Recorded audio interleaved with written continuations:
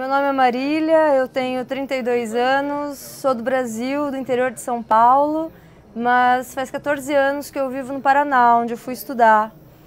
Uh, me formei como professora de português e espanhol. Não é a primeira vez que eu venho para o Uruguai, já vim outras vezes. E o que me encanta tanto em vir aqui é que sempre me inspira para continuar na minha carreira como professora. Eu vejo que o Uruguai é um país de fala hispânica que tem uma luta por identidade muito grande, talvez por já ter pertencido ao Brasil, já ter pertencido à Argentina. Eu vejo muita gana no povo. E além disso, é um lugar que faz com que eu me sinta muito segura, né? Como disse uma a outra brasileira aqui é, de Porto Alegre, né? A gente se sente muito seguro aqui.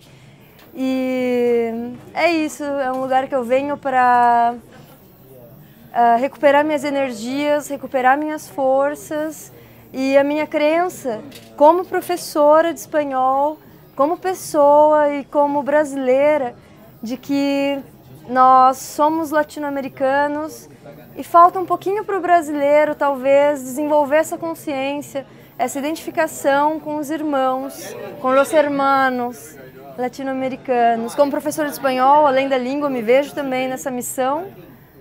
E é isso, estou aqui recarregando minhas baterias, começando 2015 e espero que eu possa levar muitas, muitas coisas boas daqui, como eu sempre levo. Um beijo. Obrigado.